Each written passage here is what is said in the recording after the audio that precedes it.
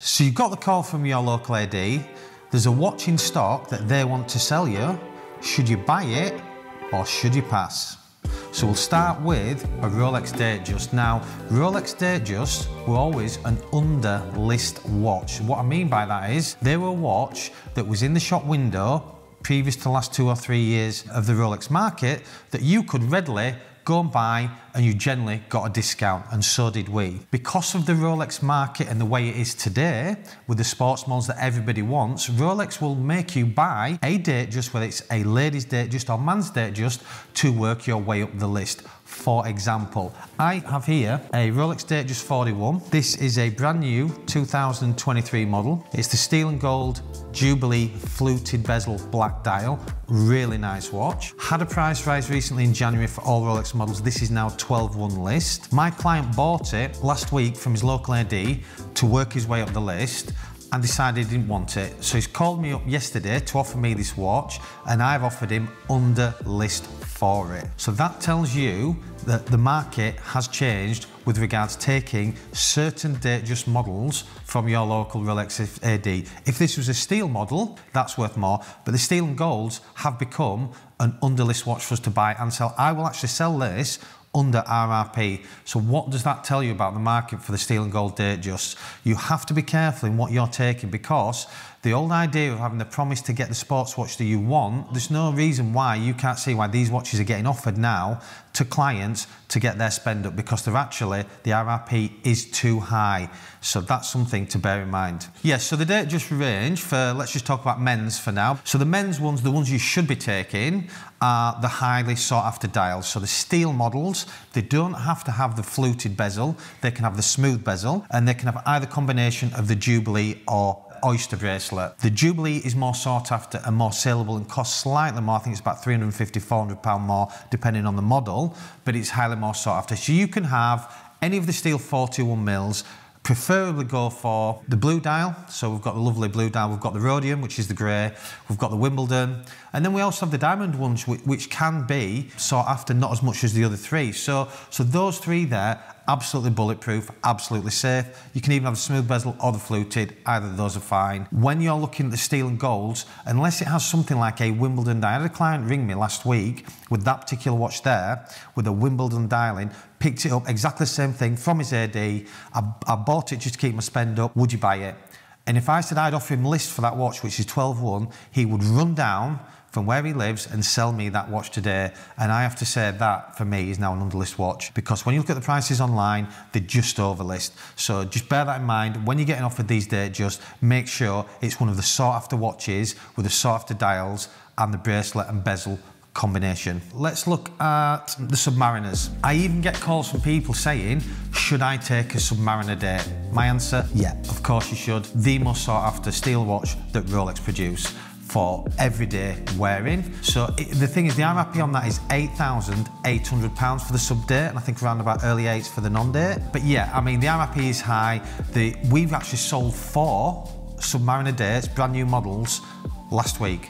So that tells you how sought after they are. If I could have a cabinet full of Submariner dates, I would. So Submariner date, yes, definitely take. Non-date, yes. A lot of people will snub the non-date saying it's you know, not as appealing as the date. I prefer it personally because I think it's a cleaner, classic looking watch. But again, extremely sought after Submariner yes. Steel and gold Submariner, so the blue one or the black. I've got a blue one here. So this particular one here, the bluesy, as it's known, as a lot of you will know it as, comes in the, the blue uh, dial and bezel or the black dial and bezel.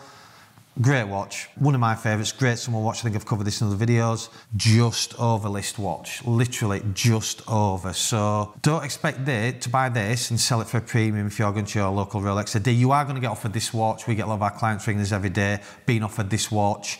You know, a lot of them are turning them down, not because they don't like it, but because there's nothing in it for them. So yeah, 13-1, I think round about late, 12s, 13 is now listed on this again. You've got to think, you know, the recent price rise, it has pushed it right up there. If I was to buy this for stock, stock, I would literally try and want to buy it list or just under. I really, I won't pay a penny over list for it, and certainly try and buy it just that little bit under. So, so yeah. And the thing is, what you got to remember is it's a readily available watch now. The, the clients that are buying these, the, you guys out there, to get your spend up for the steel ones that we've got here, you know, you've got to bear in mind that we might go back to the old days where you're buying a watch that you're going to take a hit on to get the steel watch that you want. So just bear that in mind. How much are you willing to lose? For example, I had a client ring me up yesterday who'd bought an Omega from his local uh, AD to get his spend up to get a Rolex. They've had a price increase as well, and it was a speeding. The RRP is £6,400 and he had no discount. So all of you guys out there know that you do get a discount on Omegas. So if you walk into any Omega boutique, you're literally going to get offered 5 or 10% off as soon as you walk through the door. The boutique will open their mouth and say you can have 5 to 10 off anything in the cabinet. Unfortunately, this client didn't get that discount. He asked me what I would pay for it. We agreed a price that was a lot less than that particular price that he paid, but he was willing to take that hit to hopefully get his Rolex. Now, some of you guys will be willing to do that and some of you won't. So you've got to remember, just be really careful because we are going back now to the old days with some of the models that you're being offered where they are a list or an under list watch. So let's look into some of the bigger pieces and discuss them. So one of the watches that you guys are definitely going to be getting offered is a steel and gold Daytona. The steel and gold model, they come in three dial combinations. So you've got the champagne, least popular, black, middle of the road, white, most popular. The RRP on this watch is 16,100. That was only, I think, 14.6 last year. So we've had a you know decent price increase on that watch. What is that watch worth today? Depending on the dial choice, champagne, it's worth pretty much what you've paid for. It's not worth a penny more. Black, slightly over, probably 500 pounds. White, probably about thousand pounds. That's roughly where we what we would pay in the current market.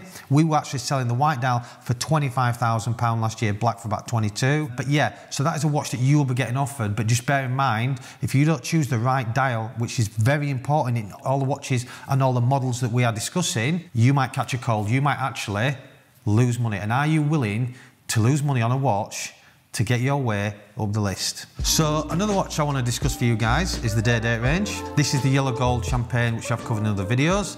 This is a under list watch. RRP on this watch, early 30s to mid 30s, depending again on the dial combination, but again, a under list watch. I have so many clients who've bought this watch over the last few weeks who've rang, rang me up to sell it and I've said, I'm not even interested, I don't even want to stock it. The value of this is probably 10, 15, 20% less than what you've actually paid for it. So you have to bear that in mind. If you're taking a day date, even if it has a really nice, super clean white Roman numeral dial, which is one of my favourites, or the silver, or you know, some really clean looking watches and dial combinations, it will be worth less than what you paid. So that is definitely worth bearing in mind. They also have the rose gold. So one of the, one of the watches that you guys will absolutely love, I'm sure everybody's talked about, it's one of the height dials, is the anniversary green rose gold one. So the anniversary green rose gold Date 40 is one that all your friends, I'm sure, will have discussed or on their bucket list. So everybody knows a green dial in any model Rolex is one of the most sought after dials, whether it's the old GMT, which is discontinued,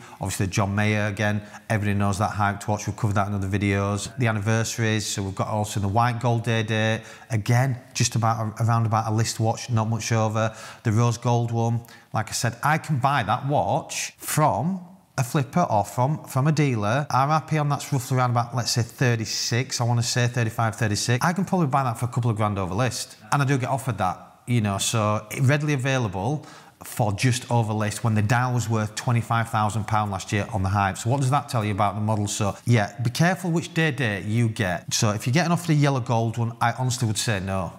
I don't care what dial's in it, I'd say no. White gold one, again, to do the blue dial or the green. Beautiful watches. Underlist watch, definitely say no. And then if you're getting the rose one, you know, if we're talking for flipping, by the way, not just actually because you want to buy it and keep and enjoy it. I'm not talking about how beautiful they are. I'm talking about to make money. The green one, yes, at the minute, and the, the rose chocolate one, chocolate baguette, just about list. So just bear that in mind when you're getting off the day date that you're choosing or saying yes to the right model. And if you buy it to flip it and you've bought the wrong one, you're going to have to hold out for a price increase, which could take six to 12 months. So just bear that in mind. So one of the models I want to cover is the Submariner Date in precious metal. So it comes in two variations. We've got the solid yellow 18 karat yellow gold and we've got the 18 karat white gold, nicknamed the Blueberry. So the predecessor that was called the Smurf, which was the blue dial, blue bezel.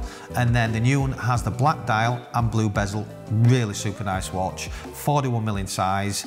List price on that watch is about 35 grand. That watch is a watch, unless you absolutely love it, you need to be saying no. And you need to be saying no because I can buy that watch pre-owned or nearly new or new for under 30 grand. So what does that tell you about that watch? I'm not saying it's not a stunning watch. I'm not saying, you know, you went something completely different to what anybody else will wear. You know, it's a stealth well. The guy that wears that watch has got money, don't want anybody to know it's got money, but other people that know the watch game will know what that watch is. It's a watch that I can buy and sell for under 30 grand and sell for just over 30 grand when the RRP is 35. So that's a definite no if you're buying it to flip it. Right, let's move on to the yellow gold one. So the yellow gold one with the blue sunburst dial, unbelievable dial, obviously blue bezel.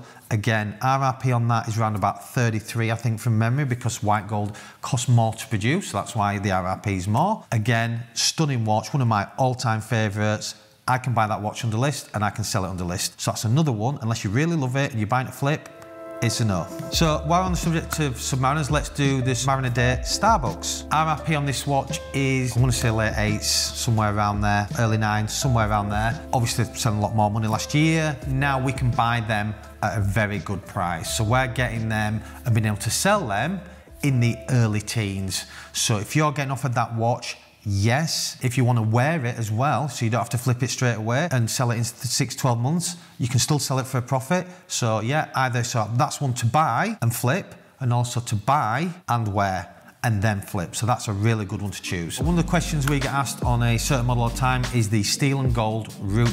Such a popular watch, really, really popular. We see them get asked for all the time, obviously retail. So I think the reason why that watch is so popular is because it is a different look to, let's say, the blue Submariner.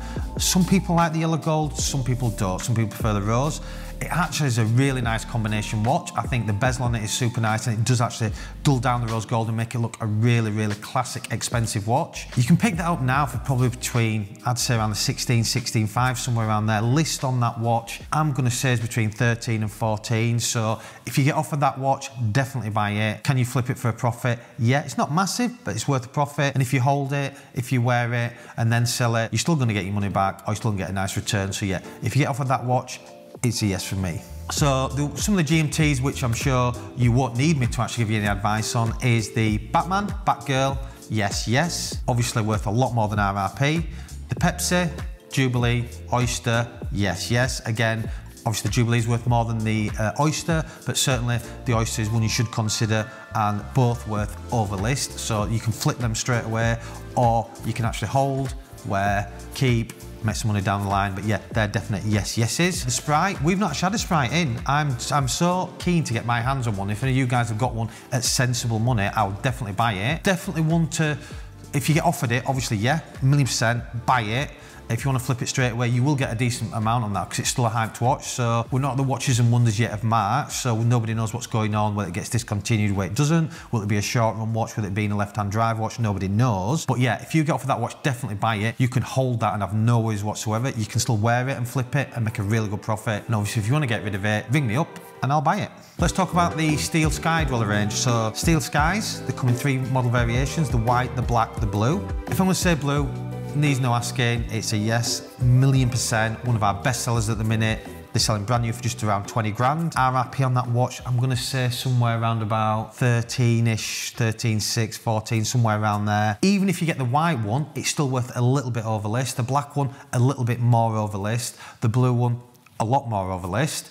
And yeah, so either those three, definite yes, yes, yes. You can wear it, you can hold it, or you can flip it straight away that's a definite yes. So one thing we're doing to talk about as well is the precious metal sky dwellers. Definitely a under list watch. So the solid gold, the rose gold, the yellow gold. Retail on the yellow gold around about 35-ish. It's an list watch for us to buy and sell. So that's a definite no. Unless you love that watch, do not buy it. Rose gold, it's down to the dial combination. If it's a chocolate dial, yes. Is it worth much of a list? Not really. Is it worth a touch of list? Yes. Definite one that is extremely sought after. But again, it's not much over list watch. If you're spending just short of £40,000 to get your way up the list and spend more money, it is one to do, but it's not going to get you rich out of it. So definitely bear that one in mind. White dial. I had a client message me yesterday. He's actually got a couple of old Sky Dwellers to, to sell actually. So he had two on the leather. So he had a white gold one on leather, which is extremely rare. He had a rose gold one on leather with the discontinued chocolate Arabic dial. Really nice watch. We used to sell those before and they used to sell really well. And then they sold even better because of the boom. Now because the way the market is on the Skydwellers and they've become a underlist watch. And the modern version of that, which is the Oysterflex Skydweller, so the one on the rubber strap, they are definitely a massive underlist watch.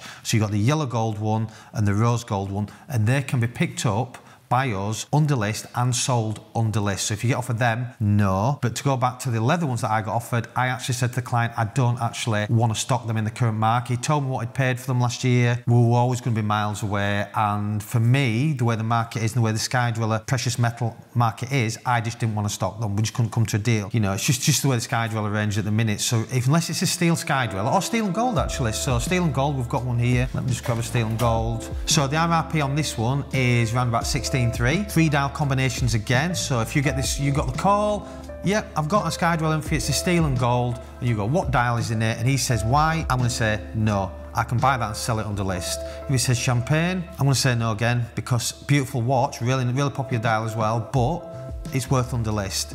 Black, just about list, if I'm honest with you, maybe a touch under. So that might be a watch as stunning and unbelievable value as that is, and I really, really back this watch. When you look at all the other steel and golds and how much this actually costs compared to it, I think they are unbelievable value for money, but they're only worth just list or just under if you want to flip it. So again, bear that in mind if you're looking for your steel and making you take this watch, definitely take it, but just prepared you might take a small loss. So watch that you guys probably have been offered, will get offered, are going to get offered is an OP range. So the Oyster Perpetual 41 mil. They come in 34 mil, 36 mil and 41. You've got to be really careful on which one you choose. You are gonna make a little bit of money if you bought it. So if you bought like a silver one, I think the RRP on that watch now, I'm gonna say, it used to be 4750, I'm gonna say about 5 one or something like that. So if you've got the silver dial with the gold baton markers, black dial, blue dial, any of those three, worth list or just over to to uh, to a dealer like us. Not a big margin, if I'm honest with you. And it's normally people get that offered quite a lot. And then you're into the other dials, which I think the current dials in that, you've got the dark green dial. That's one dial that you might get offered. That's worth a little bit over list, so that's worth one to buy. But yeah, you, you're probably just going to get the entry level, so silver, black, blue, something like that. Yeah, definitely take it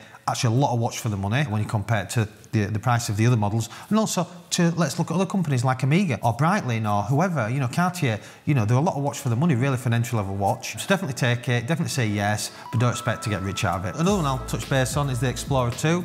This is another one you guys are probably definitely going to get offered. List price on this I'm sure is around about mm, eight grand I'm going to say, eight-ish. Definitely worth over list. You've got the black dial, you've got the polar white dial with the blue minute hand. So definitely, yeah, if you get offered this, yes. Is it worth more than list? Yes. How much of it? A little bit, but really sought after. I mean, we've got this one advertised, I think it's 9750. It's a brand new watch, under 10 grand. Last year we were selling these for well over 10 grand. The polar white, near a 12 grand. You know, if I got a brand new polar white in now, I was still marketing it around about the 10 grand or just over. So a lot of watch for around about the 10 grand mark. Really popular watch, good size, 42 mil, nice brushed stainless steel watch. Not too thick, not too heavy, good all day wearer. I know a lot of people slate this watch and, you know, think they're a bit underestimated or underrated with regards to looks, but I think for the money, I think it's a really good buy. So if you get for this, yes, polar white, Yes, I could do this all day. So hope you enjoyed it and tune in next time I'll do another Should You Buy or Should You Pass?